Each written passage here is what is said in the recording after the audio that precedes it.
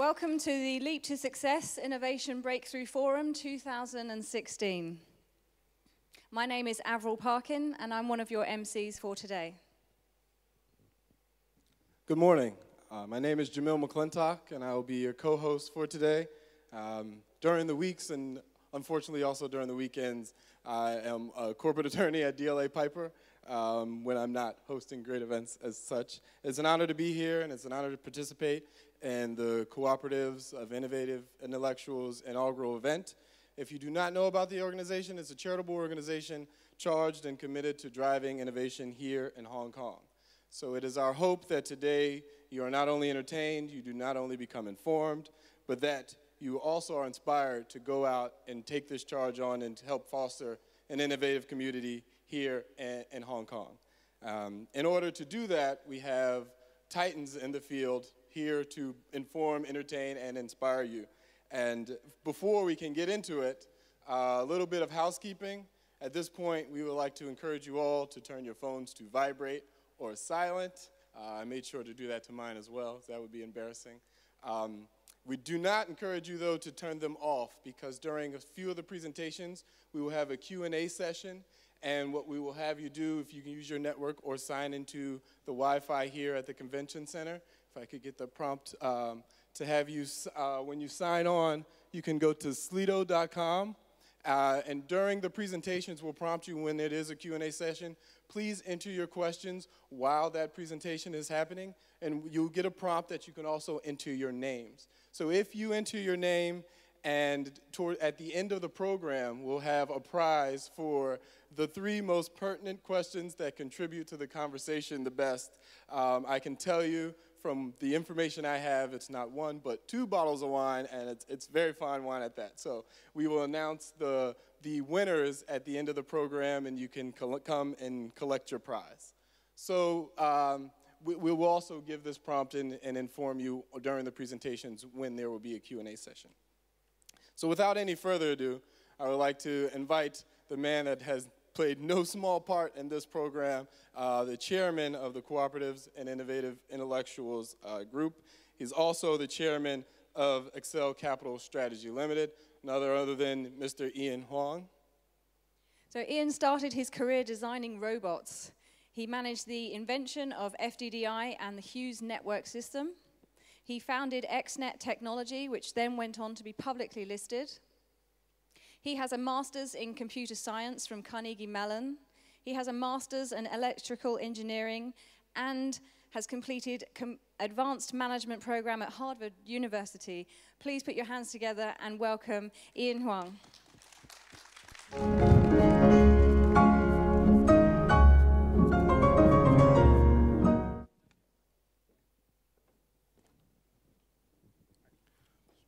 Good morning.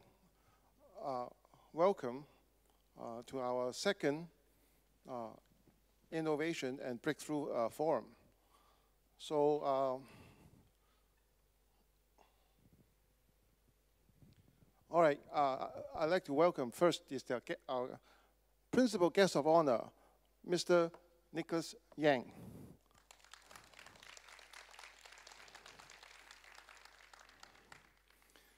And also Dr. K.L. Chen. Uh, he is uh, sitting over there. He's uh, a space scientist, and he was deeply involved with the uh, lunar program of China. And Dr. York Liu uh, in Hong Kong, who doesn't know Dr. York Liu, he, uh, he is actually, that I know of, the first professor went to become an entrepreneur and take a company to full board listing. Not, no, there no German in those days. Uh, and he was also the former chairman of the Hong Kong Council of Academic Accreditations.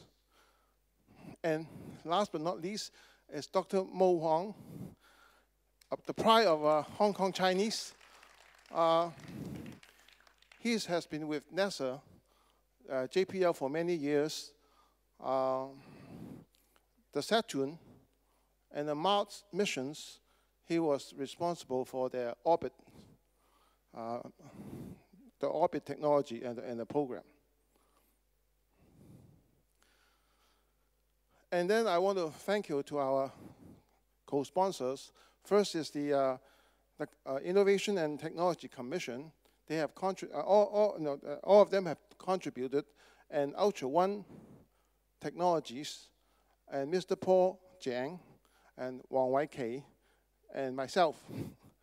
and then, of course, uh, Dashun Foundation, DLA Piper, and Eagle IP, and they all have contributed significantly in this program. Now, I just want to be proud to share with all of you our VIP, some of our VIP are here. Uh, Mr. Andy, Andy Bin, he's here. Uh, Professor David Jiang, over there. Uh, Mr. Duncan Chu, oh, it's not here. Okay, he's coming in this afternoon. Uh, Dr. Raymond Ho. And I saw one here. Uh, Mr. Jason Chu.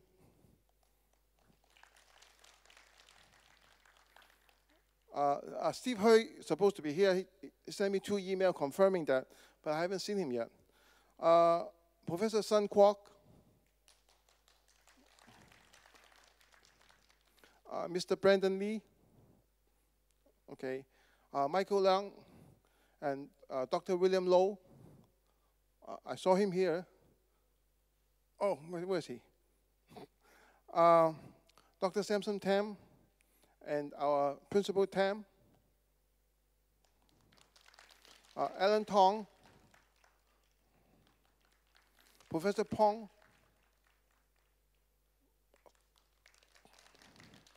uh, Mr. Simon Wong, uh, and Peter, uh, Peter Yam. If I missed anybody, I must apologize because the reflection, you know, the, is, is blinding my eyes in here. Okay, uh, what I like to achieve in this uh, event is the like to ignite the thinking of leapfrogging, because uh,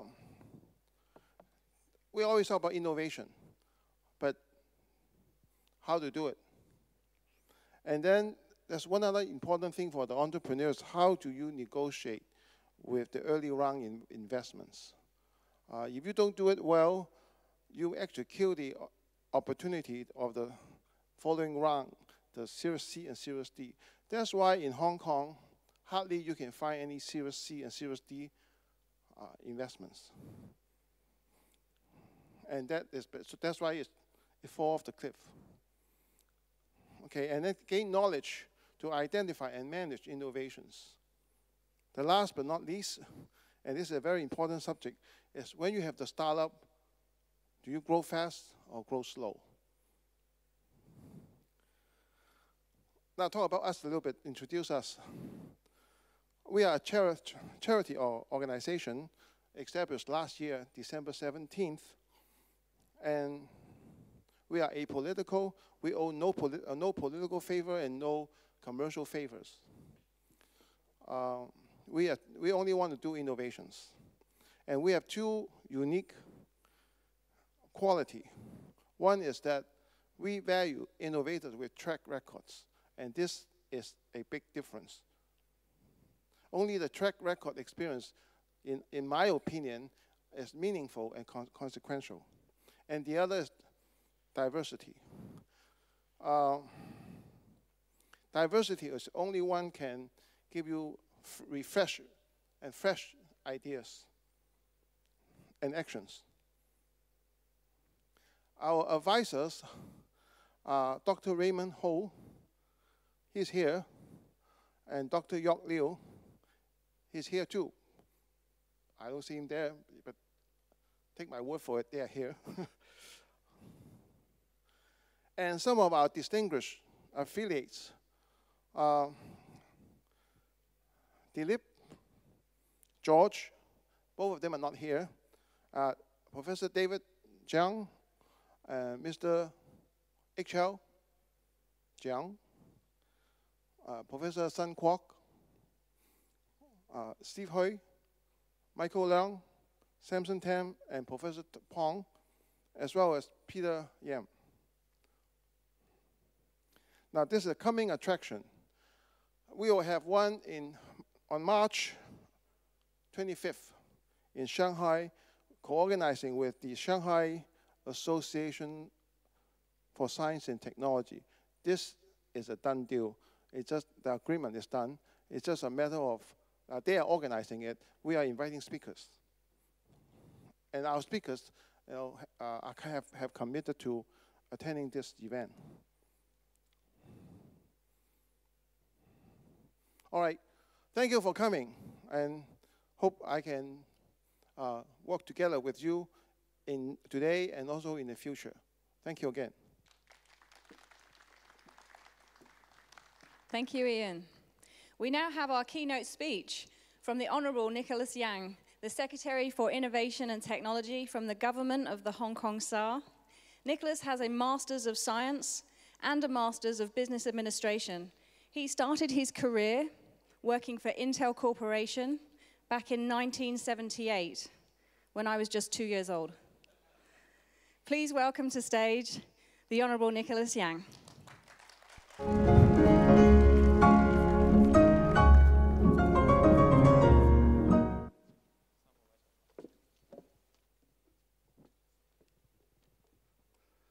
Uh, good morning. Uh, I found the first challenge. I have to leapfrog today. Uh, I need a third hand. Otherwise, I cannot uh, read from these uh, notes. But that's okay. I figure out how to do that. Okay, so so I'm gonna try it, and this is the first time I'm doing it. Okay, so I do I, I will not have a third hand. Don't worry. I will not mutate in front of you. Um, but uh, it's good to be here, and uh, I, I, do know that I'm associated with the other honorary uh, honor guests here. York is my schoolmate at Caltech, and I just noticed Mr. Wong here. He works on Saturn and Mars mission, and I work on the Voyager missions while I was JPL. So that was a long time ago, so don't give my age away.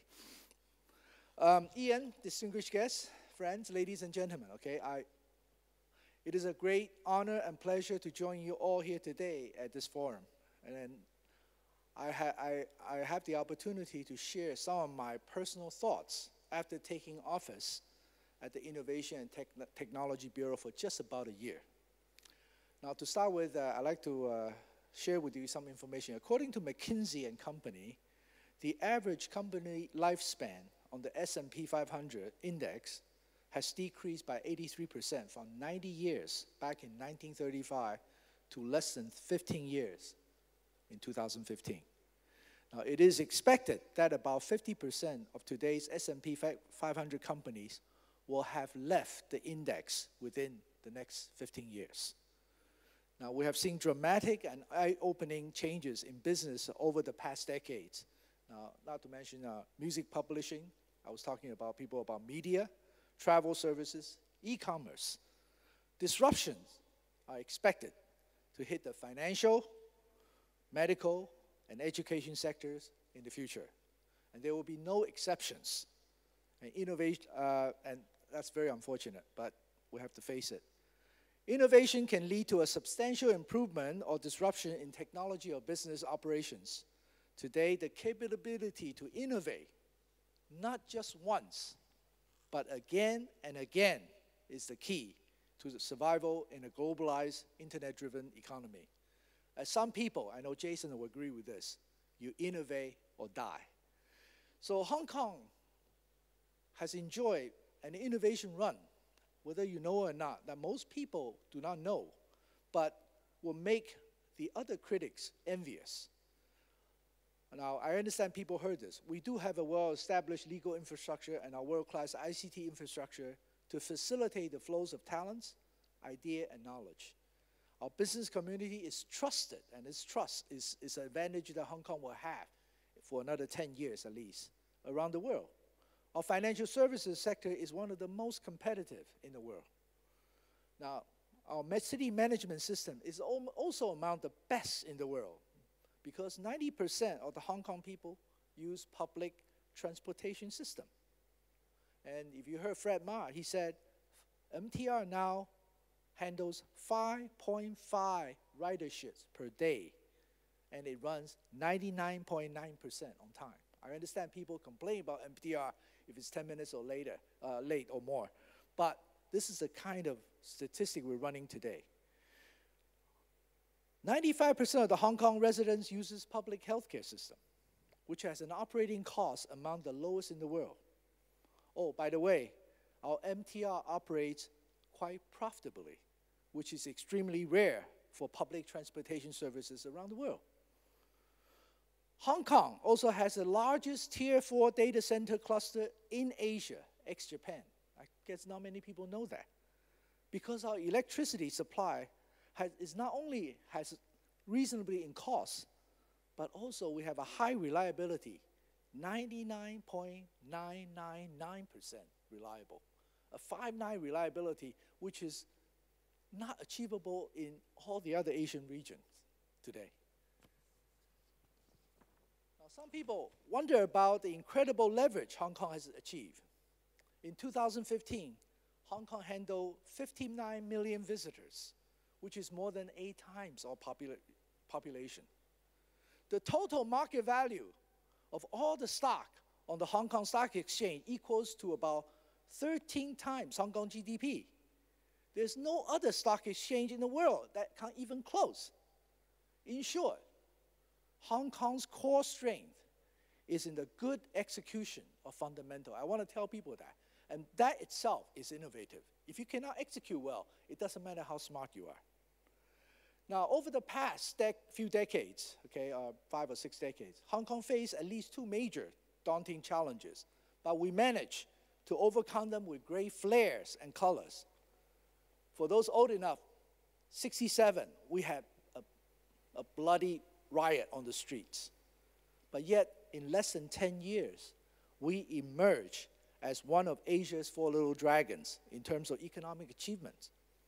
Okay, we became the number one in making Christmas trees, in toys, or some of the electrical appliances.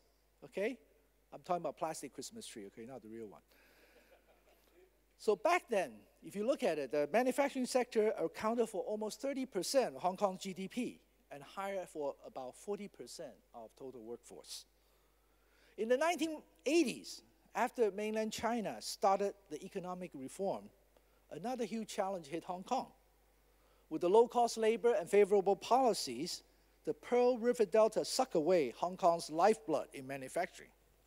The once thriving manufacturing sector of Hong Kong in the 70s all migrated across the border, leaving hundreds of thousands of workers in the manufacturing sector without a job and probably without a future.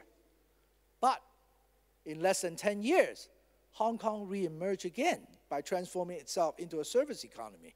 Today, over 90 93% of our workforce okay, are in the service business. This covers financial services, trading and logistics, professional service, and tourism. All of these account for more than 50% of our GDP today. Now, on the other hand, if you look at Hong Kong's GDP as a percentage of mainland China's GDP, we have fallen from about 19% in 1997 to just about 2% in 2015. At the current rate of decline, Hong Kong's GDP will be significantly less than 1% of mainland China's GDP by 2025. That's mind boggling and that's startling. But are we increasingly becoming insignificant and irrelevant? I don't think so, no. We should not let such manipulative statistics trick us into pessimism about Hong Kong. While many locals have yet to realize this, the Hong Kong startup scene is gathering steam. Just look at the big names. This year alone, Hong Kong has attracted many major innovation startup events such as Web Summit Rise, Elevator World Tour. In July, Sequoia Capital partnered with our university to launch the Hong Kong X Tech technology startup platform. And last month, Facebook teamed up with four local partners to launch FB Start. WeWork from the United States just expanded its server, its presence to Hong Kong with two huge new office locations, new locations. Why? Because people see opportunities in Hong Kong. Now, according to Invest Hong Kong's latest survey, Hong Kong saw a steady upward trend in the number of startups during the past five years. Today, there are about 2,000 startups in innovation and technology in Hong Kong. About half of them are started by overseas entrepreneurs who came to Hong Kong to innovate. The number of co-working spaces, incubator, accelerator reaches almost 50, a vast majority of which are run privately.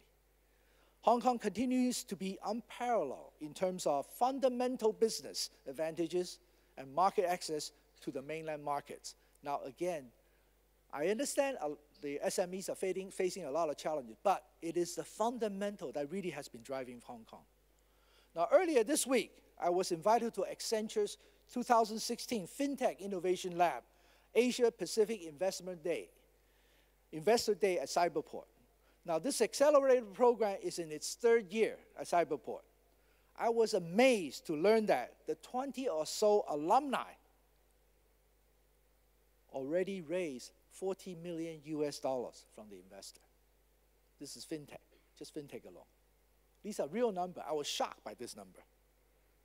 In addition, local startups have successfully using Hong Kong to expand their business globally. You may recall that one of our most successful local startup called GoGoVan has already connected users with more than 70,000 vehicles across Hong Kong, Singapore, South Korea, China, and Taiwan. It has planned to launch in Australia in the near future. Since its launch in 2013, this startup has processed more than 100 million US dollars in total transaction. Okay, but people don't talk about it. This is our success. Okay, now since the Innovation and Technology Bureau was set up just about a year ago, we have secured an unprecedented amount of 18 billion Hong Kong dollars in just four months' time. Okay, we ran through the filibusters of LegCo to help building a more vibrant and robust ecosystem in Hong Kong. That is our goal. Without the ecosystem, things will not continue. Okay? I'd like to highlight a few funding schemes. First of all, a 2 billion Hong Kong dollar injected into the so-called midstream research program for our local university. This midstream program encourage our university to, to conduct more interdisciplinary and translational R&D work, which are midstream or downstream in nature. With this added incentive, we hope to take our world-class R&D research expertise from our university labs to commercialization. Now, we need the academia to work in tandem with the government to do that because we do have world-class research capability.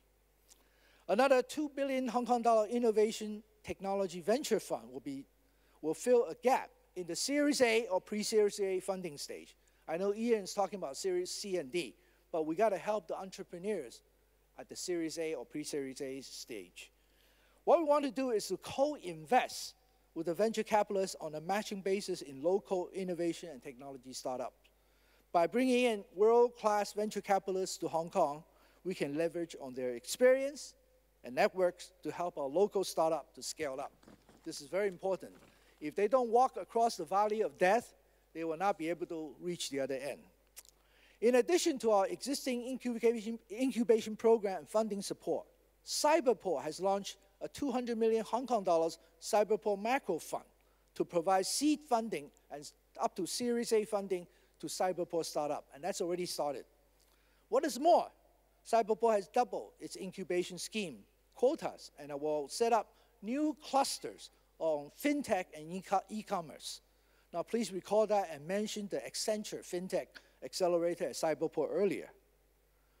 Anyway, we know the right policy push and the joint efforts of the government, the industry, academia, and research sector are equally important. Together, we can build a robust ecosystem for spurring innovation and nurturing startups to, de to deliver results on a sustainable basis. So let's work together and make things happen. Last but not least, I wish you all a most fruitful and imaginative conference. I understand you guys are the innovators. Thank you very much. Thank you, Nicholas. Uh, please stay on stage. I would like to welcome back Ian to the stage to provide a certificate of appreciation.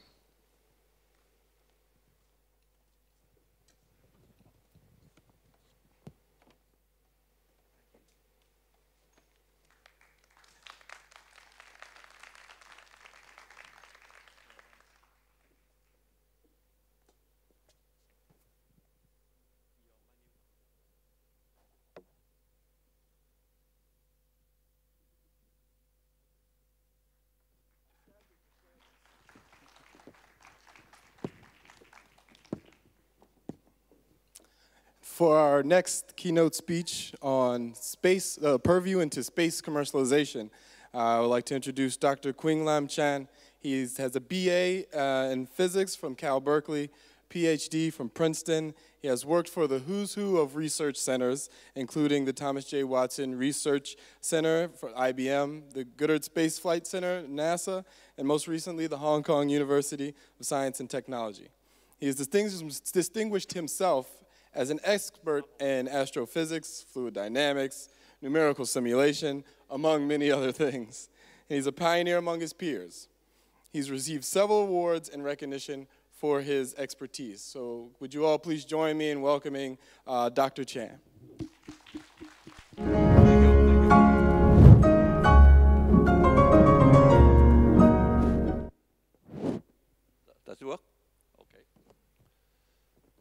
Morning, the honorable guest, uh, chairman.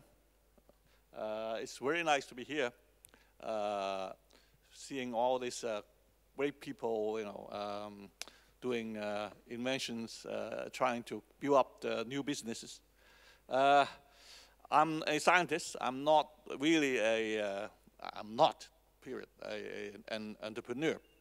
Uh, I cannot uh, offer you methods to uh, create new companies, but I hope I can get you excited in about the possibilities or the opportunities of partic participating in some space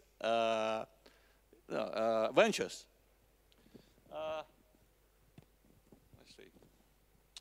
Okay, uh, my uh, talk will be on space commercialization, which is basically a, a review of uh, what has been uh, done in the market. Uh, as you know, space is expensive. Uh, it's not so easy to really get into get into the you know working on it, especially commercially. But people have done it uh, how come it's not uh, moving? Okay. It's not, let's see how, there's some, something, there's some problem here. Anyway, all right. Basically, there are different uh, possible private ventures uh, has already been uh, taking place. Uh, I have categorized it into uh, three parts. Uh, the three main parts are the launching, launching capability, which is big deal. I mean, this is fundamental. If you cannot do it, forget it. The other is uh, uh, util utilization of uh, resources in space, which includes, which is not listed here, which includes usage of solar power from space, converted into microwave and delivered to Earth. And of course, also uh, people are talking about mining in asteroids and moon. And uh, what's shown here is just the first part. Oh no, this is the last part already. The last part is uh, space application, which includes many things, uh, including, uh, let's see, uh, of course, global network satellite systems like the GPS. In China, they have the Beidou. there's also a, a Russian system we are using it already. Uh, space tourism, that's something in the future, probably not too far though, maybe I would say five to 10 years. People already flying in uh, suborbital uh, uh you know, excursions. Uh, manu manufacturing in space, that's uh, something also farther away. But what people have been doing now in terms of space, actually people have been doing quite a bit of space application in particular, like telecommunication. That has been done for at least 30 years, 30, 40 years. So, uh, and we are going to mention some of these, uh, or give you some example of uh, these uh, uh, ventures. And so you have a, an overall view. I mean, I will not have time to get really deep into the de details. Okay, let's see what, how's the next Okay, first I'm going to talk about the launching business, uh, the rockets, the main thing. Come on, move it. Should I face it? This one. Okay, of course, the most famous uh, company is uh, SpaceX, which is uh, standing for uh, Space Exploration Technology Corporation. It's an American aerospace manufacturer uh, and space transport service, headquartered in California, United States. It was founded in 2002 by uh, Tesla Motors uh, CEO and former uh, PayPal entrepreneur Elon Musk with the goal of creating the technology to uh, reduce space transport cost and enable the colonization of Mars eventually. Uh, that's uh, Falcon 1 they, in launching. Uh, it has already uh, docked on uh, the uh, International Space Station a few times. And this shows its recent achievement, which is the recovery of the uh, first stage uh, on sea, just recently in April of 2016.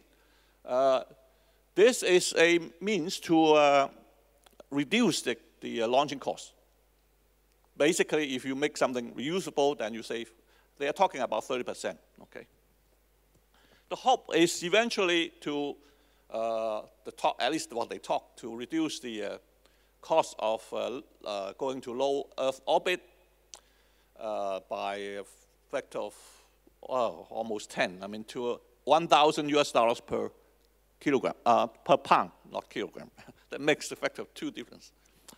Okay, uh, and also they are doing, uh, this is, uh, is this, let's see. All right. I think the point that cannot be seen from far. Anyway, up there, there's this Dragon 2 spacecraft, which is going to, pardon me? Point to this one? There? Really? Forget it, doesn't matter. Uh, oops, let's go back. This is a spacecraft to, for, to carry uh, human beings, and uh, it's going to uh, be uh, flown, uh, presumably next year, uh, to the International Space Station. Well, actually recently, because of the popularization of mini satellites and micro satellites and uh, nano satellites, CubeSats, for example, uh, the way to develop the fast, uh, lightweight rocket, inexpensive rockets, very uh, becomes a very important and urgent task. And I'm giving two examples here. One is uh, uh, this launcher one um, made by Virgin Galactic which can uh, deliver uh, 200 pounds, 200 kilograms to space in, uh, let's see, US uh, dollars, one, well, 10 million. Okay, so that's about uh, 5,000 US dollars per kilogram. Okay, so that's, it's already better than the uh, 10,000 US dollars per kilogram currently now you know, you need to pay for uh, big rockets. But it's going to be launched by a, from aircraft. And uh, China is actually uh, doing this also very fast. This is a uh, solid rocket, solid booster, uh, solid fueled rocket. It can deliver 300 pounds, 300 kilometer, kilograms in space really fast. And they are talking about a cost of uh, uh, 2,000 US dollars per kilogram. Okay? And this is the uh, military version called Kuaizhou. There is a civilian version, uh, civilian version, which is called uh, uh, Chen, um, let's see, um, Changzheng 11. And the two are basically the same thing. So, uh, so China is doing this very, fast. Now, uh, concerning the satellites, there has been many, many the companies doing that. Of course, among them, the longest uh, one that has a long history of building small satellites is this uh, Surrey Satellite Technology Limited. It's a British, as you can see from the flag there, company. uh, in, already in 2000, it has already built a, a satellite for, uh, with Tsinghua University. It's a very small one. It's a, a mini satellite. Uh, and it has been launched successfully. It worked for uh, almost three years, and uh, it's been very successful. The, uh, recently, they launched the, uh, well, that's in 2015, they launched the DMC constellation. When you have multiple uh, satellites, they call it a constellation, okay? It's like they fly in constellation, several. And uh, the purpose is to, to um, look for changes on the ground as well as to monitor disasters and to respond to disasters, okay, which is very important for China nowadays, uh, actually. It's a, in, an important application in China. And actually, uh, a company in Beijing uh, called the 20th century, 21st uh, century Aerospace Technology Company uh, Limited have already, already leased 100% of the image uh, capacity of these three satellites. Okay. Now, this is the uh, so satellite situation. Now, concerning other kind of uh, like uh, well, in space, there's another thing. People are working on uh, space uh, tourism, right? You need to build cheap habitats for tourists to stay in. This is a, a, a test, an experiment done by Bigelow.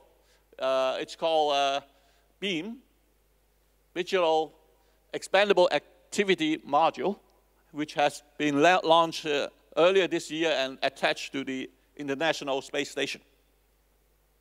And it works. It is an, an expandable because when before, you know, it's attached, it's collapsed. It's a, it's a, you know, and then when it arrives, it, you feel in the pressure, it expands. But uh, it's actually, uh, they're testing for safety, but uh, this is a very important fact, of course, where in space you will be kept bombarded by uh, micro uh, meteorites, you know, uh, high energy protons, high energy particles. And actually, you know, even though it's expandable, okay, movable, uh, has a movable shell, actually the, uh, the thickness of this is over half a meter. Okay, so. Uh,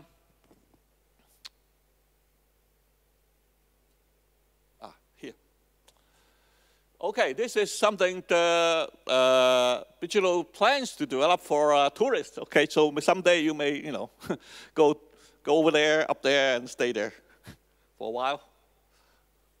Now, resource re utilization. Okay, that's a big, of course, when you develop all these uh, machineries, you know, you need to do something. That's a purpose. Going to space is not just wasting money. Okay, one of that is that uh, uh, to uh, trying to um, mine from asteroids. Actually, I was surprised to find an asteroid that's so close to Earth orbit. you know, uh, they, uh, this company, uh, Planetary Resources, actually listed a number of asteroids which has orbit close to Earth. Of course, you don't want to go to this asteroid belt, which is very far away from Earth, I mean, you want to go to some asteroids that's closer to Earth so that you can reach there early, uh, fast, and easy. And then you can see there, there, you know, such kind of asteroid exists. And, uh, But of course, right now, this company uh, has no mining to do. What it does now is this uh, satellite is using for uh, Earth observing. So instead of going there to look at minerals, it looked at, it's looking at minerals on Earth. Okay, now, the, uh, this is a, uh, an image of, uh, of course, a drawing of uh, an entry uh, what, which won the uh, Sun Satellite Design Competition, first place, of a project from the China Academy of Space Technology. Okay, this design was to actually to convert sunlight into microwave power and then deliver to, uh, to Earth. Now, the, of course, uh, actually, let me point there. The, the big the array there uh, is, of course, to absorb sunlight and then convert to uh, uh, electricity, energy, and then this dish there is for transmitting the microwave the footprint of the microwave transmission would be something like a few uh, tens of kilometers. So this, it's going to eat up a lot of space. But the, uh, concerning the feasibility, uh, there has been established that uh, you can uh, transfer microwave quite distance. Basically, people have tested it for uh, a distance of 100 kilometers near the ground level. So for going up to space, that's no, no problem in, in principle. But the problem, the big problem is that uh, so far people have been doing it for uh, tens of kilowatts, which is very small compared to mega, mega, many, many megawatts which you, that you need. So people are now still trying to understand how, actually how much was the limit of uh, power transmission. But if this can be done, this will really be a very uh, uh, possibly a quick way to really get uh, solve part of our uh, energy problem because I bet this uh, may, might be easier to, to get the fusion working. Even though with fusion work, fusion research, of course, is still being uh, conducted. So this is the idea. Sunshine on, well, this is not the same design. This is a different one. But sun shining from near the horizon on these two panels and then convert and deliver uh, the uh, microwave back to Earth. Actually, Japan is doing, uh, making this big. They want to put some, put a very big uh, array around the moon, all around the moon. the hundreds of kilometers in area, uh, hundreds of kilometers square in area on the moon and deliver to Earth. That's what they're talking about. But of course, you need the technology to land and stay on the moon before you can do it. Okay, space application is something more reasonable, which is actually closer to Earth, uh, at least in terms of, you know, getting into uh, creating business. Uh, it's more realistic for, uh, you know, for a smaller investment or to, for startups, and I wish to stand, uh, spend more time on that. Now, uh, this is the oldest application, space application. In Hong Kong, there's one. Uh, the main headquarters in Tai Po. And you can see all these receivers. Uh, there's also a, uh, an array of uh, receivers in, at Stanley. And this company has been there for 30 years already. And sending up communication satellites mainly. Asia Sat-9 is to be launched in the plan uh, next year. It's an, an, an upgrade of Asia Sat 4, which is getting old. Okay, that's, let's, talking, let's talk about something newer. Then something newer is to uh, do research and to uh, manufacturing, manufacturing in space. Uh, this lists a number of experiments on this uh, Chinese uh, Shijian 10, uh, which has just returned after a 15-day day, uh, orbital uh, uh, course in space. It has done a lot of, well, from this list, you can see what approximately what you can do, basically. You have, it has fluid physics experiments in space. The fluid, there's no gravity, so, you know, uh, the uh, fluid drop, droplets will flow around, right? And that actually caused a big problem and important related to combustion. Okay? Combustion is totally different. That one big problem of traveling to space and staying there and also interplanetary travel to Mars is fire safety. If you have fire there, you know, clearly you cannot pour water on, on the fire. For water will not flow or, you know, go there and then cover it up and stop it. No, the flies are, I don't know, it's very hard to detect fire in, in the space environment because the lower pressure and without gravity. It's hard to, it's hard to detect, it's hard to get it out, get rid of it. It's very dangerous. So this is one big problem that people need to work on and uh, to do experiments.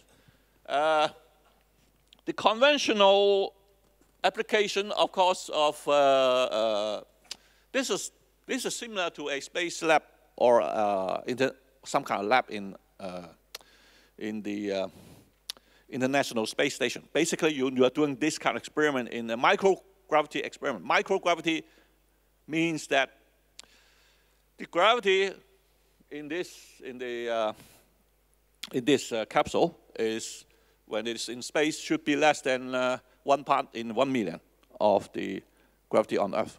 So with that kind of small gravity, the very different things happen. Uh, biology is another thing. Radiation biology, you know, up in space, you know, you you're exposed, and what happened? You know, you can actually people have grown, uh, you know, fancy uh, seeds, you know. They put some seed in space, they brought it back. Seed, some of the seeds get, you know, the outgrown of the seeds get better, according to the, those people who are working on it. Uh, gravitational biology, you know, without gravity, what, you know, things could behave differently. Biotech, of course, you can, people are talking about manufacturing medicine, new medicines in space. Now, let me talk about gravitational biology a little bit. This is something I, I found quite interesting. This is the development of uh, mouse, early mouse embryos in space. That has nev never been done by uh, other experiments, not by the US, not by, not by Europe. This is something really new in this Chinese uh, uh, experiment. Uh, you can see that uh, you know uh, the cells got really split, and actually they have followed it further, and it's really growing. Now, okay, now this is the main thing I would like to. Well, I don't have five, four minutes, but actually this is the most interesting thing. I think people can really do something in terms of uh, getting into a new business.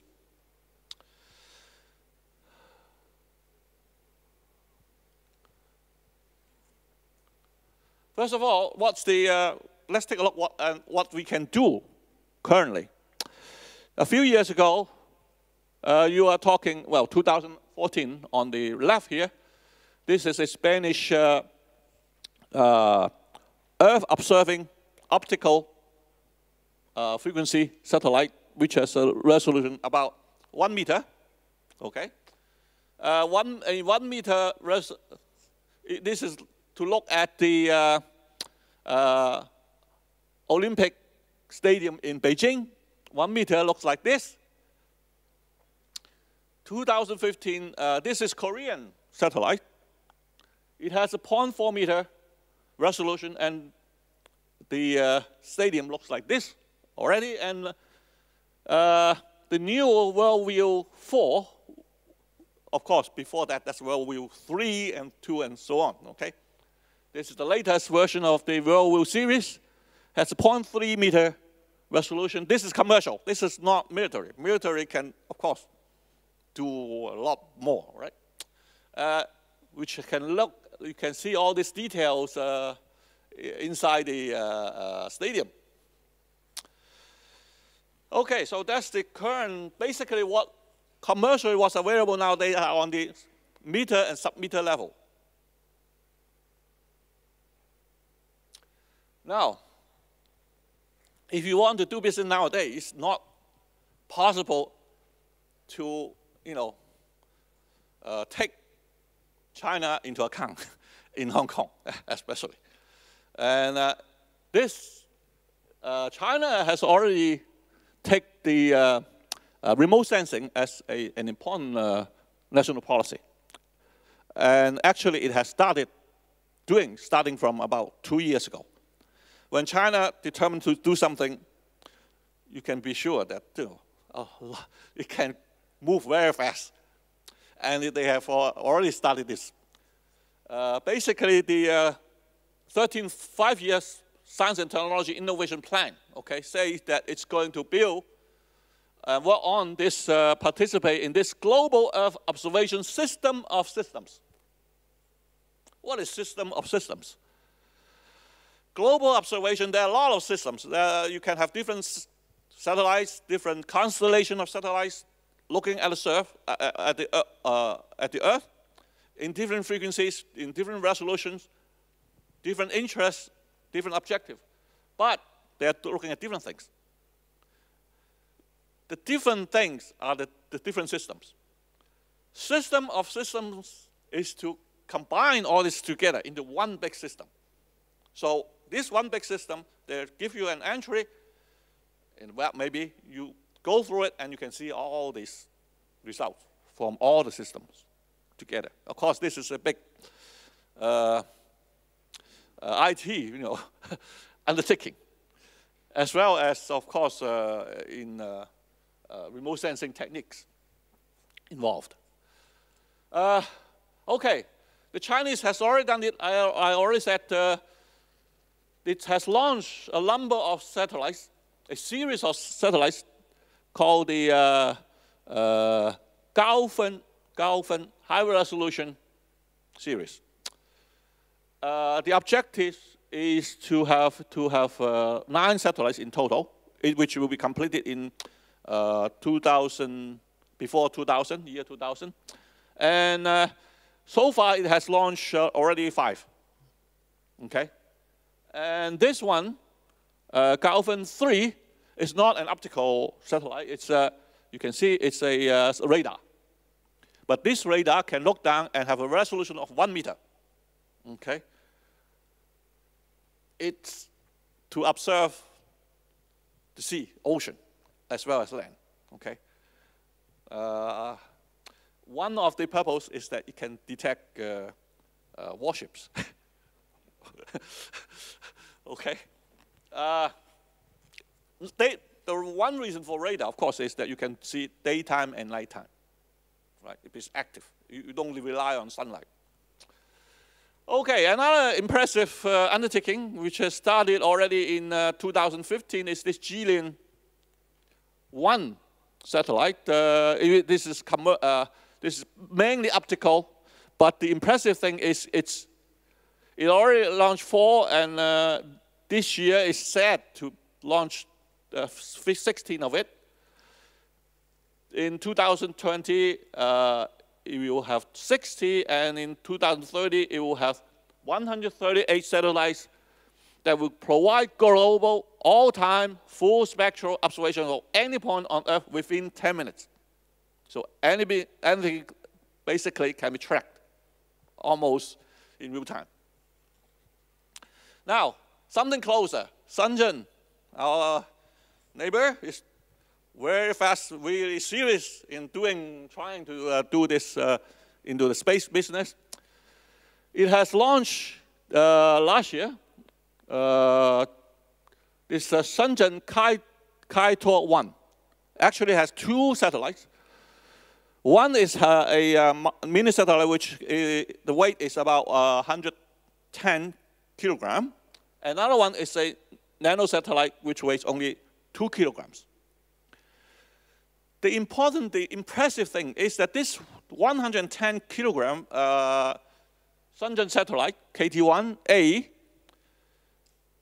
is to test the use of uh, commodity components in the satellite. Everything is, you know, industrial grade only. They're not specially designed, specially made. They just pick it up from the shelf and put it there, then try to see whether it works.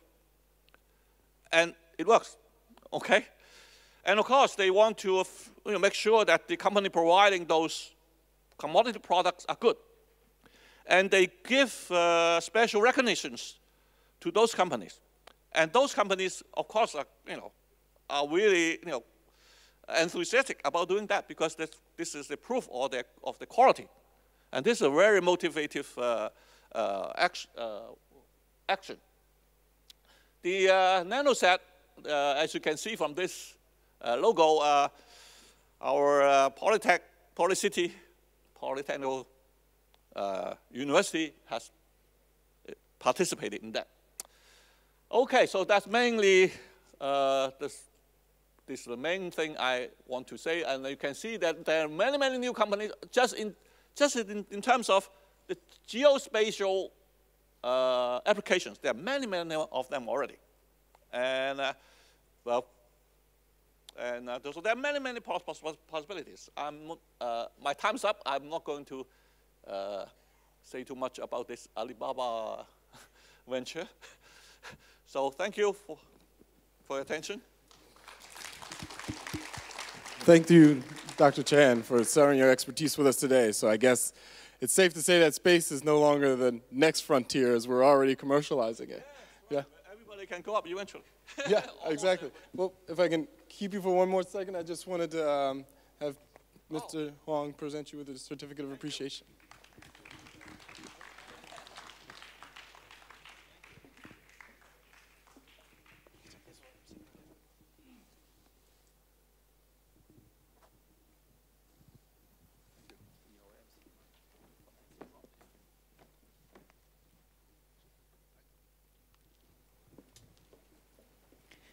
Okay, uh, apologies, we're running slightly late, but there will be a tea break after the next session, so please stay with us. Um, we would like to start the next session on how to leapfrog. There will be a chance for Q&A at the end, and as we mentioned at the beginning, there is a chance to win prizes. So please make sure you register your questions online. Uh, please welcome back to the stage Ian Huang, the chairman for the in, um, Cooperatives are innovative intellectuals. Thank you, Ian. Thank you.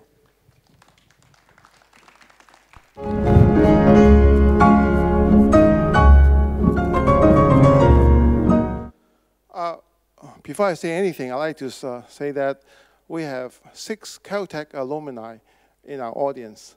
So it's very unusual. Okay, uh, I've been wanting to talk about this uh, for many years. I'd like to share this with you.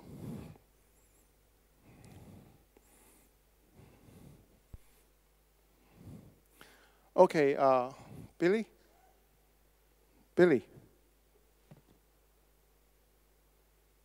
Where did Billy go?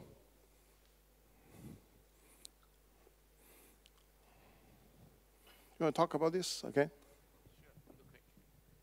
Hi guys, um, it's me again. Um, so I think uh, has uh, talked about this already. Uh, today on, on the sessions where we have Q&A, um, we will be using a software uh, so you can submit your questions.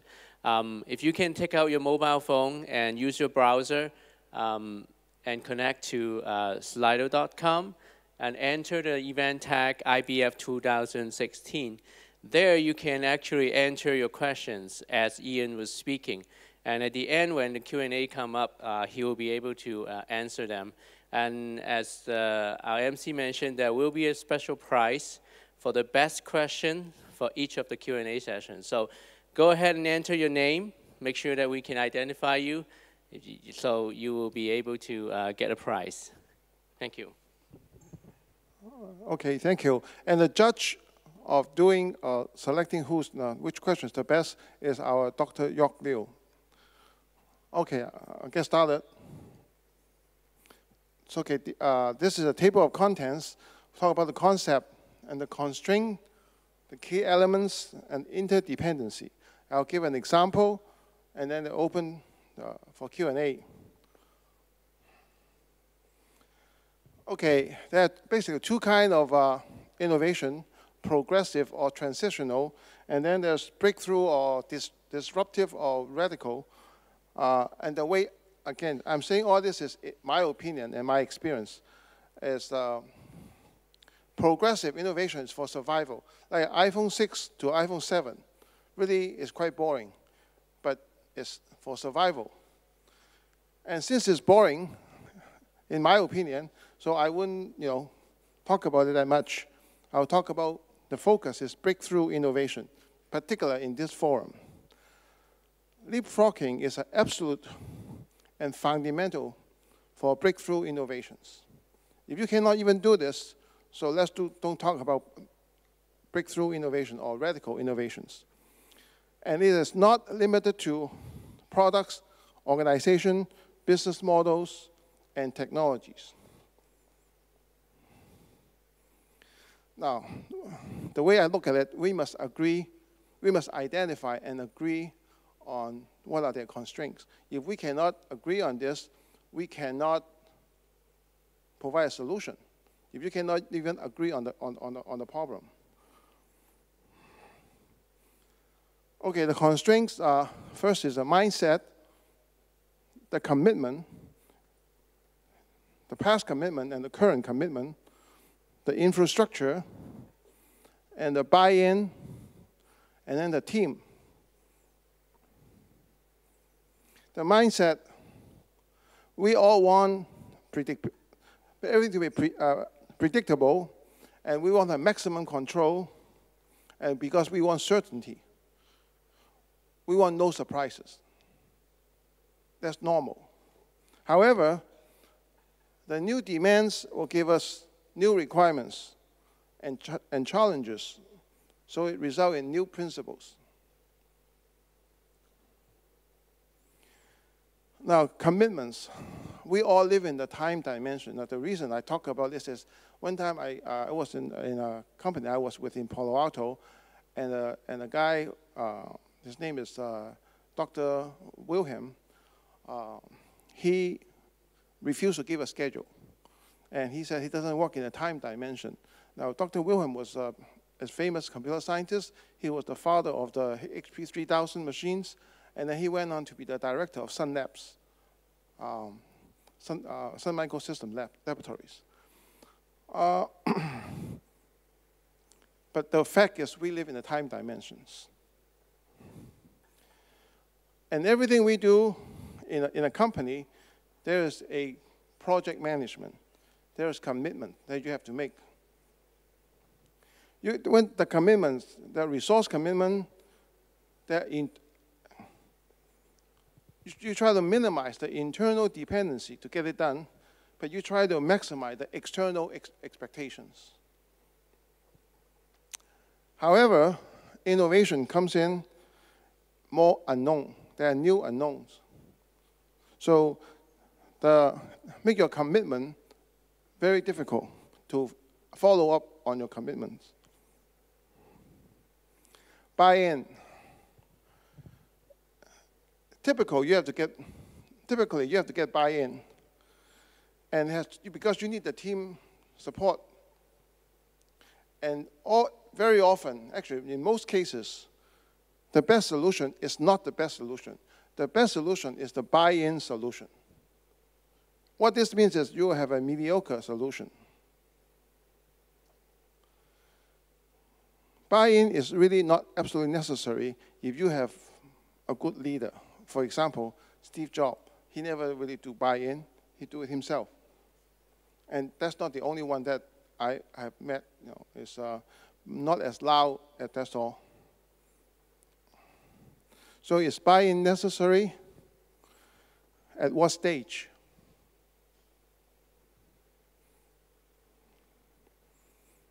Talents. Uh, we all try to not necessarily get the best talent, but trying to get the people that you know, or you know for many years, you are very comfortable with, and you know what, what they can do, what they cannot do. Now, this is actually, it narrows you. The way that you look for talents is that what is his exposure? And as a leader, you must able to identify talents quickly and accurately. You cannot say, I have to know this guy for so many years, or he's my relatives, or he's my brother, or he's my sister, or whatever, brother-in-law. You, you narrow your uh, networks, and you actually you limits your thinking. Now, in, in my opinion, there are two things is important in leapfrogging. One is leadership. The second one is diversity with inclusion, and I'll elaborate on that. Leadership, one, you have to be foresighted with relevant exposure, and this is very important. And um, let me give you uh, not a, a, generic example, but not a specific example, uh, without mentioning names. Uh, it was in Singapore, and I talked to the person that was in charge of the uh, their technology and investment and all those things, and they used to really like the, the, the head of their local Singapore branch. The big company, head of the, the big company in Singapore. Now, those guys are undoubtedly well educated and very intelligent. The issue is because Singapore is a small country and their revenue is limited, therefore, they will not participate in any global decision of the company. And they won't even get to sit in into, into those meetings. And therefore, their exposure is limited. They must be able to see the bigger picture and the trend. This is the only way that I know of you can define and identify the target. Now, competency. For the things you do, you have to have at least one area the leader must have core competency. If he has none, I'll, I'll, I'll, talk about it later, it actually is bad for the company, bad for the, uh, uh, uh, like uh, you might not aware of this, General Electric, they used to make mainframe computers. And it was not doing too well, so they promoted a guy running the light bulb division to run their computer division you know. And of course, the result is to sold it to Honeywell. Another thing is for leadership, you must have peer support and you have track record to prove it because only that you can gain the respect of your peers. So you, you don't need the necessary buy-in. Now, project management, the guy has to know some project management. He has to understand it is, in order to manage any project, you must minimize dependency, not maximize de dependency. And I see many of them happening is that they maximize the dependency. And I guarantee you it will never happen. Whatever they claim, it will never happen. You have to be fair. I'll, I'll talk about this hero syndrome in better detail. And also the business experience prefer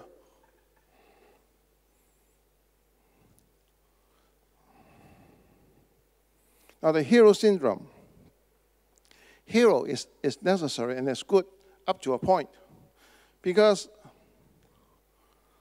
product in the past, the very successful product in the past does not mean success in the future.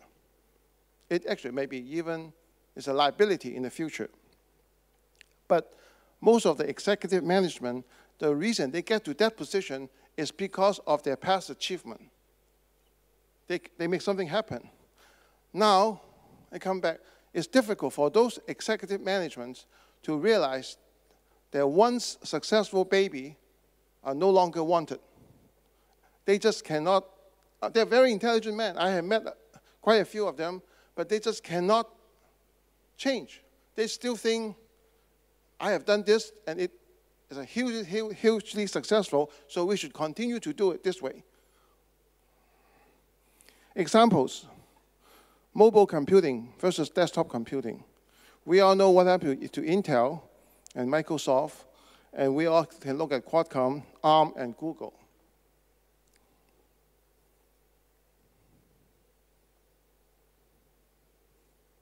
Hmm? No. Not working.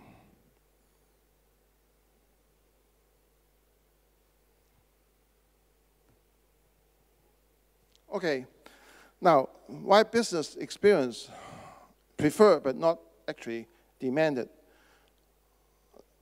I'm very proud to say we can see technologies, technologists convert and transit to become a businessman. You never see the other way around. Have you seen anyone, any, any, any? I've never seen it. If the core competency is not related, the, the, the leadership of the core competency is not related to that business model, then really has a problem. For example, look at Silicon Graphics. Jim Clark, and then later uh, Richard. And what happened? Silicon Graphics is gone. Hewlett Packard, we all know what happened there. Hewlett Packard today is a inkjet printer accessories company. Accessories company. Very different from the day of the, the glory day of Hewlett Packard. They lost it all together. IBM. Gerstner saved IBM, no question about it. But also, he also killed IBM because uh, no, there's nothing else anymore. You have anything creative and innovative and breakthrough come from IBM after Gerstner? Qualcomm, look at Qualcomm.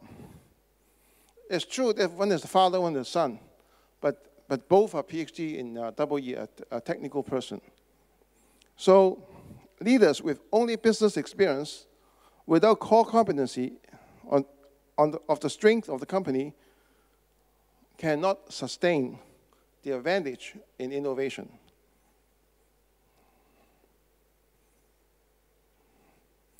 Okay, the innovation flow. Uh, something's missing here, but uh, there should be a big circle over it. Uh, what I'm trying to say here is that the background is exposure and diversity with inclusion. Diversity without inclusion is worse.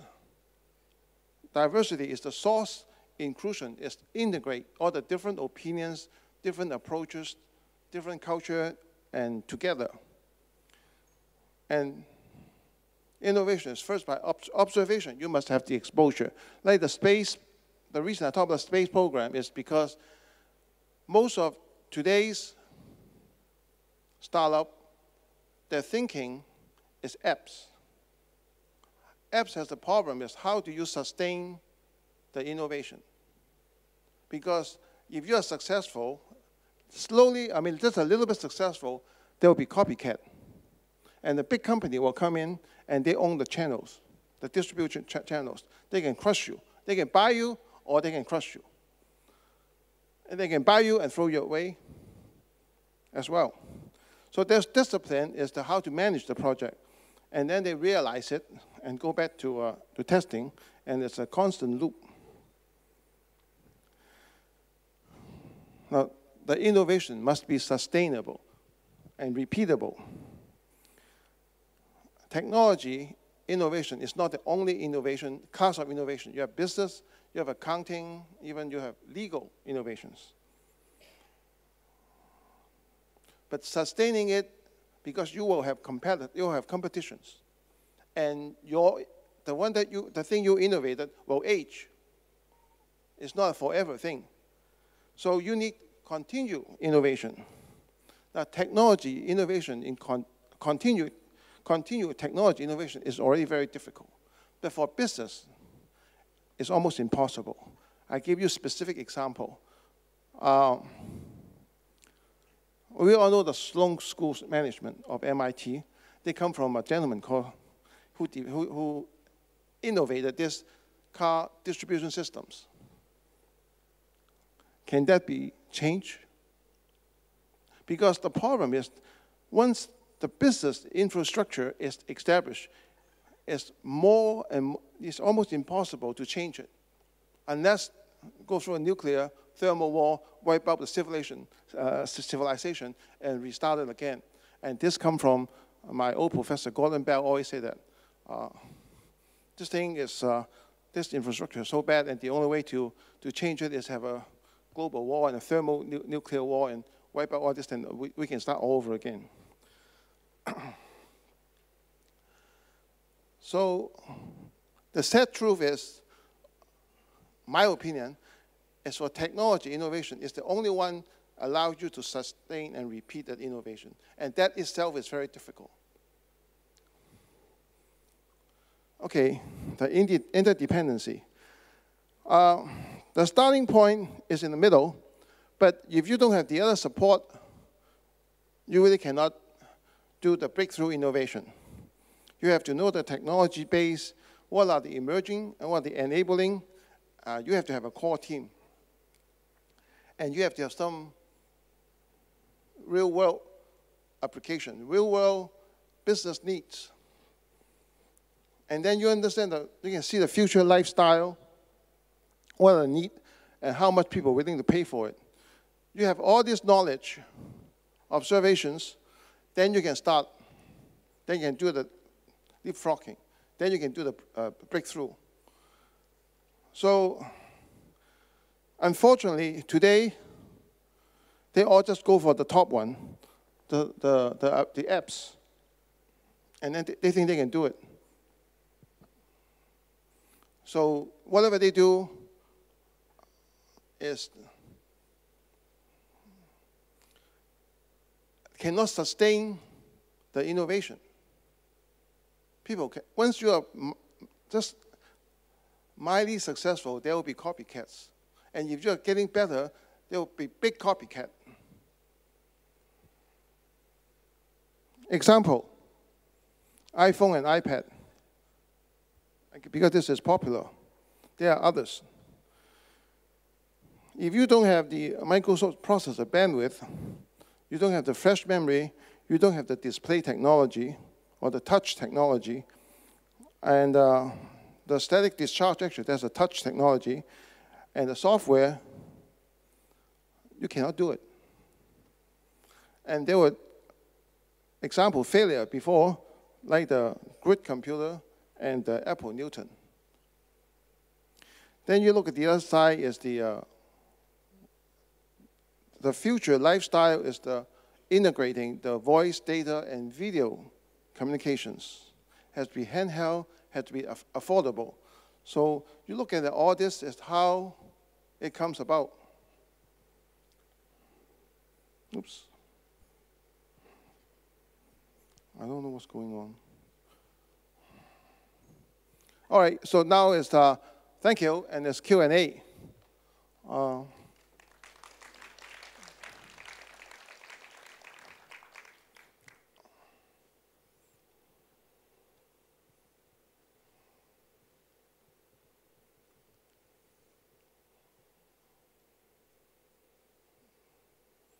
uh, Billy.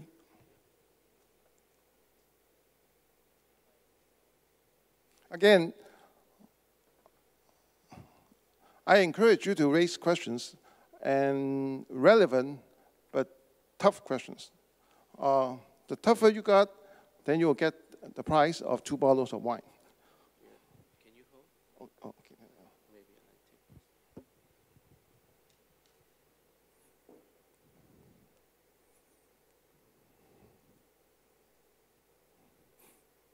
Now, if you don't disclose your name, of course, now then you won't be able to get the the price. Because I don't know how to identify you. Uh,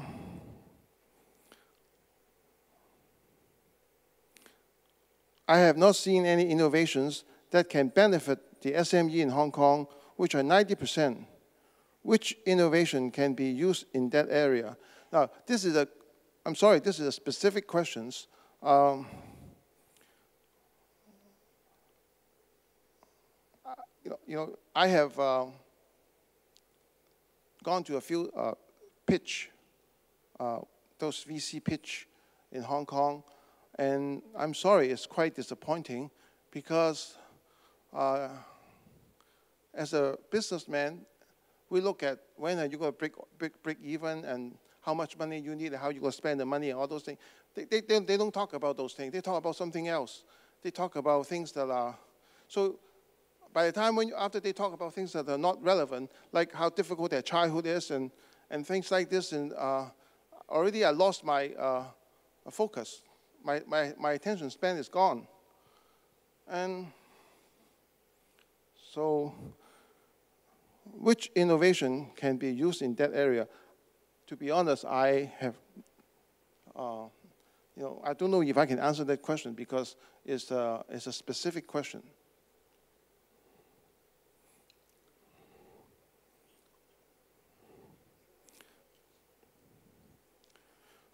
Fear of the future is an inhabitant of innovation. How do we encourage a culture that embraces failure as a necessary part of the process. I think um, the first thing is the, uh, the government has to change some of the laws. Um, for example, in the US and in Canada, that the bank can only blacklist you for five years and they have to erase the record. That's the law. In Hong Kong, the bank can keep your, can blacklist you forever. Now, what, why is this important?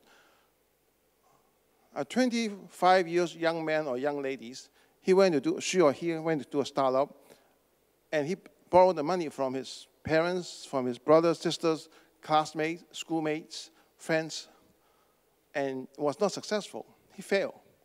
So he, the bank, not, not bankruptcy, just delay payment or skip payment or whatever. So what happened is the bank will blacklist him for life. And then his brothers, his sisters, his parents will still talk to him, but his classmates, his schoolmates, his uh, friends will avoid him because afraid of him coming back to borrow some more money. Uh, this is, uh, so what is a 25 years old young man going to do, or young lady? He's in deep trouble. His, his, his uh, you know, he cannot buy a car. He cannot buy an apartment or house. Uh, he might not even get a credit card. How is he going to live? So the first thing is the, the, the Hong Kong MA should do something about it. But but, the, but the, the bank will come back, and I talk to some banks, and they come back and say, we are, we can, we have this freedom, freedom of choice to do business. This is their reason. They have the freedom to pick who they, who they want to do business with. Is that a real reason? When you are a public service company, you don't have that, you don't have that freedom, in my opinion. That's why US and Canada don't have that disallow that. So um, there, there, are many things like this. Okay. Uh,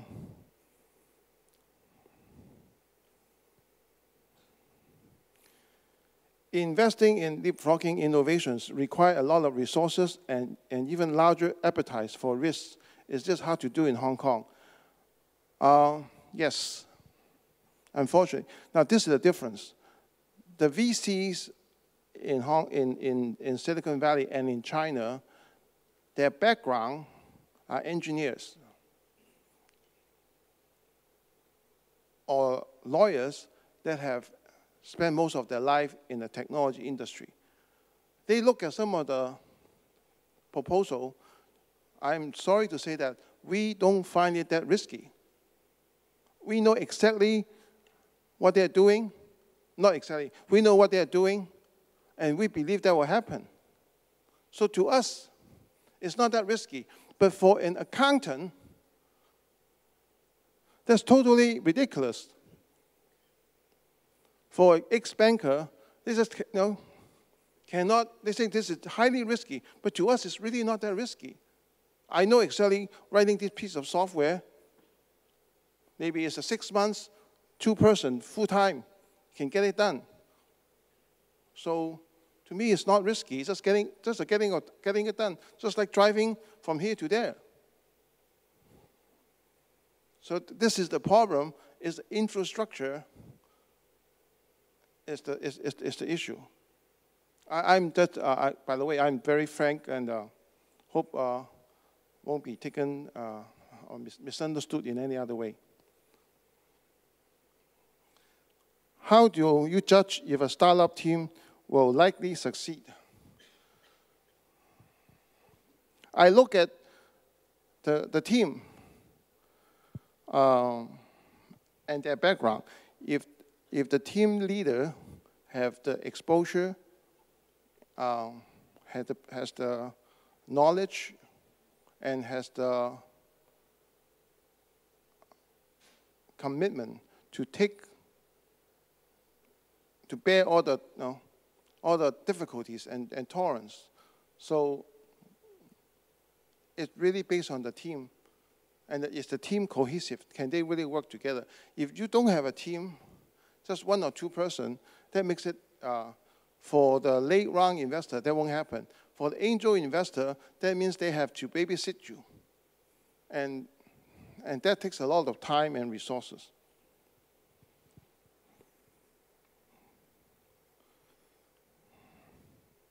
Watson is one of the biggest innovations in, in uh, IBM recently. Uh, they are exploiting to solve problems in medicine. Gerstner has turned IBM into a service company. Uh, is that a question or uh, a statement? The way I look at Watson, okay, is a me too. Everybody doing similar things. You might have different name, different packaging, but it's the same thing. He has a lot of competitors. And they are not the biggest in this field.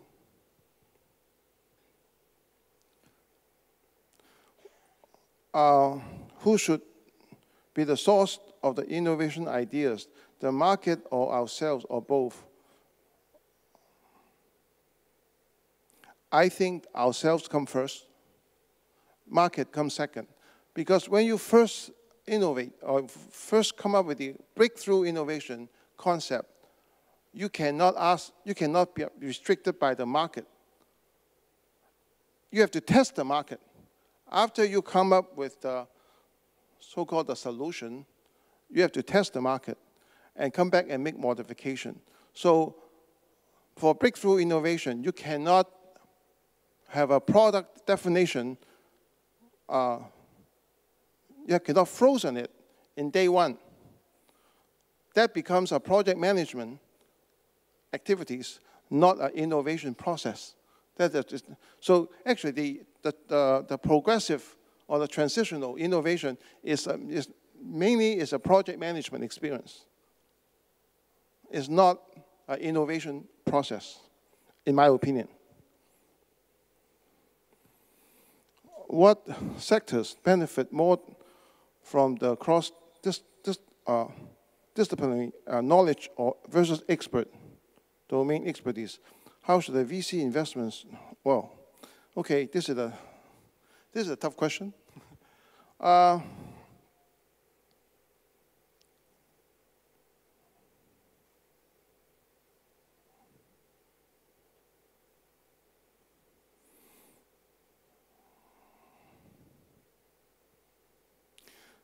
The V, okay, let's uh, the VC in, investment strategy. I cannot speak for everybody, and, and each VC has its own uh, approach and style, and uh, I can only speak for myself and also some of the VC that I'm uh, in very good relationship with. Um, I cannot speak for uh, many of them. Really, it's the people. Do they have the uh, competency, the leadership, the exposure?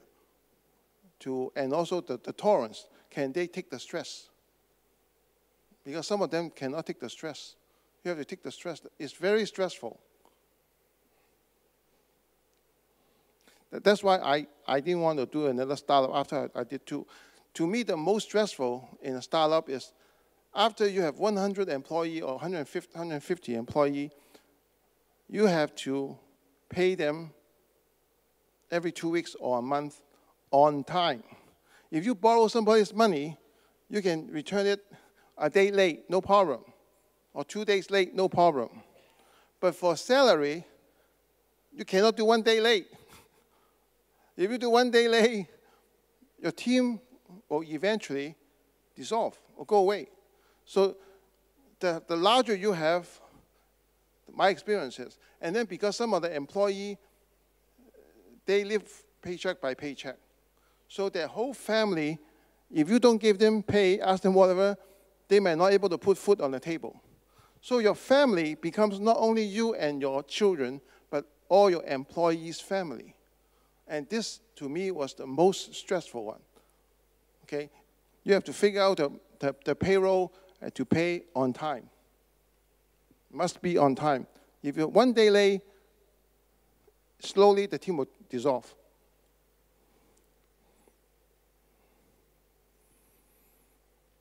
The, the Chengdu government pay 100% of innovative startup IP costs. Do you think this is a useful incentive program? Does Hong Kong have this uh, incentive?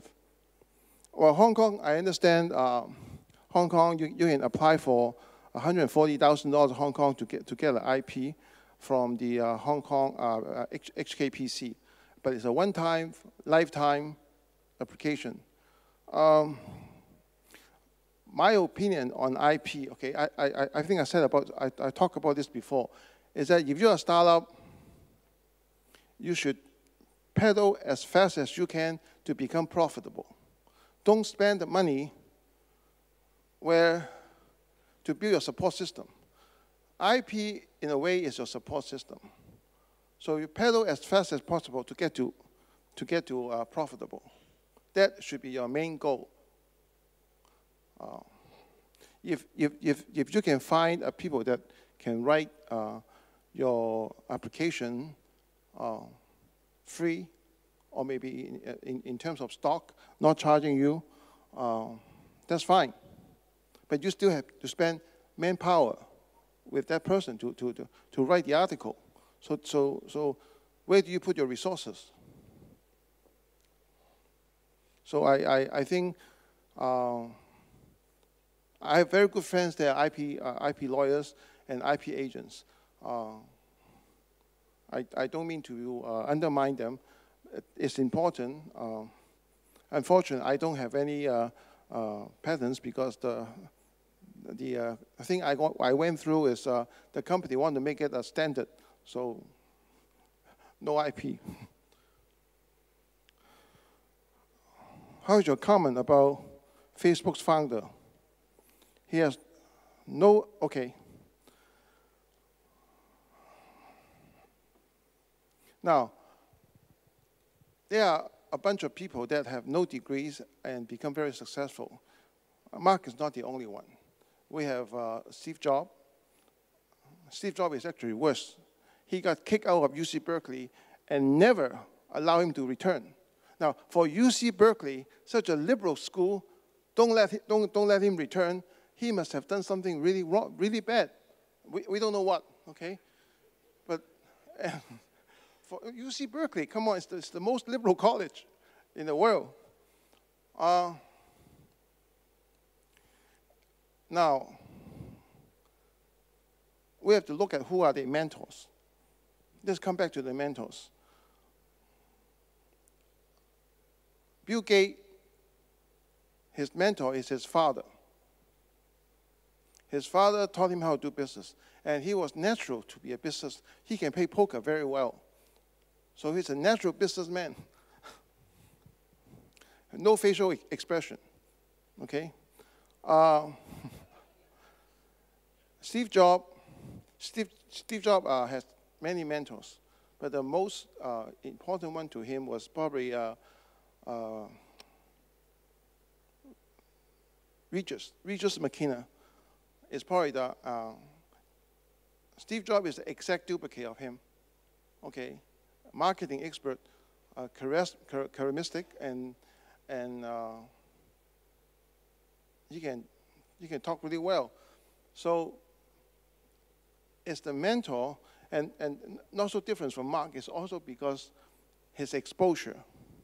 So this, this, this part comes is his exposure. The mentor give you different, a different mentor give you different exposure at different stage of your life.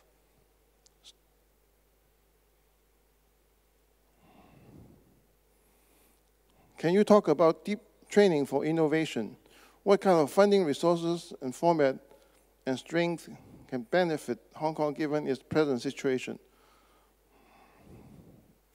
It is very hard. Uh, because many, because this involves politics, uh, you have to say the politically correct things. Otherwise, uh, like for example, I have talked to some of you guys here.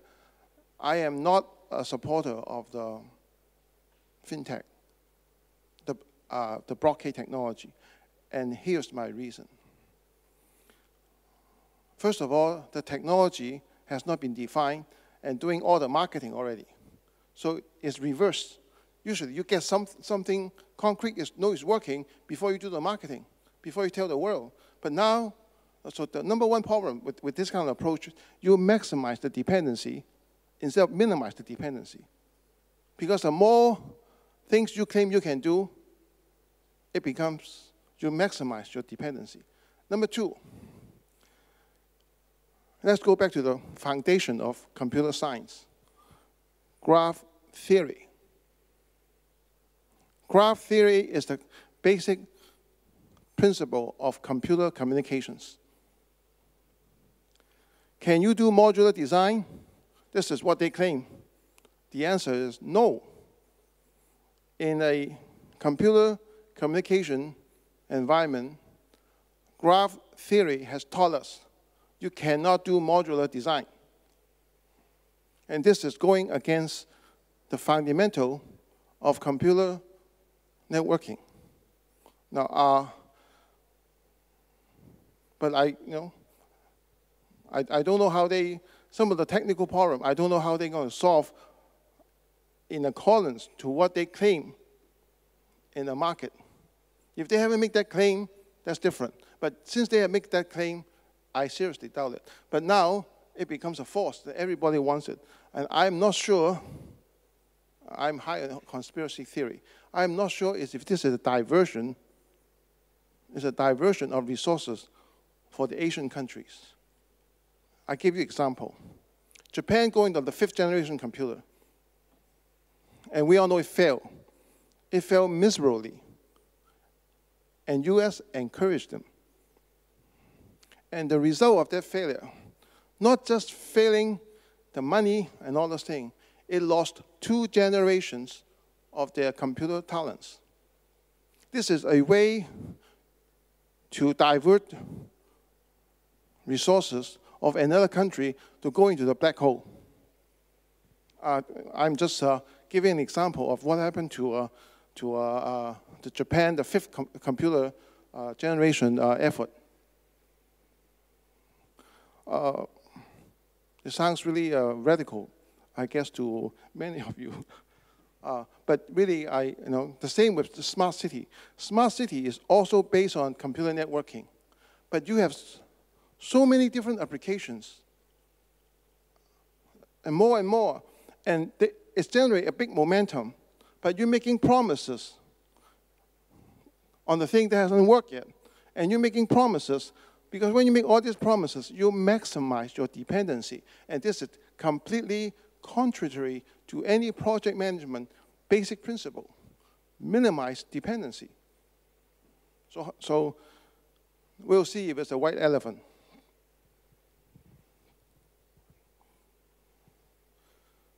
what should Hong Kong work on to make Hong Kong successful?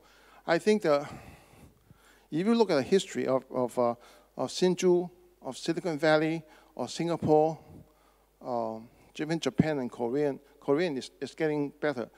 It, I mean, from technology point of view, is you have to build your core competency. The big trendy word is very attractive. And you can generate a lot of momentum, mirage. You can generate a lot of mirage, but is it real? And you was, the, the problem with this kind of thing is it looks very good, it sounds very good, but when you fail, it didn't happen, and didn't deliver what it said, it will make the government more, more hesitate for the next idea. And you will also waste generations of talents. And this is the, actually, the, the second one is more harmful. You're hurting the younger generation and it follow on. And we all have obligation to our younger generations. That's why I'm here.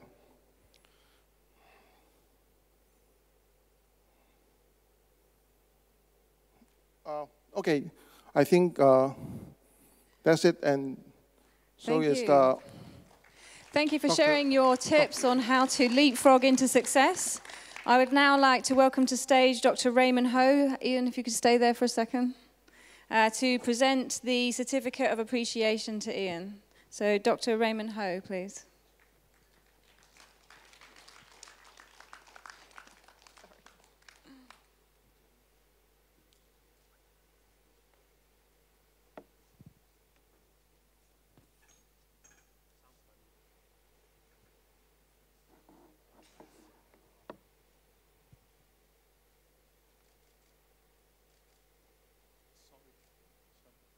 The TP reduced until to 1150. Well, I do 45, 50 minutes. Thank you, gentlemen. So now we have time for a quick tea break. So please go and uh, have some refreshments and come back in 15 minutes, 11:45. Thank you very much.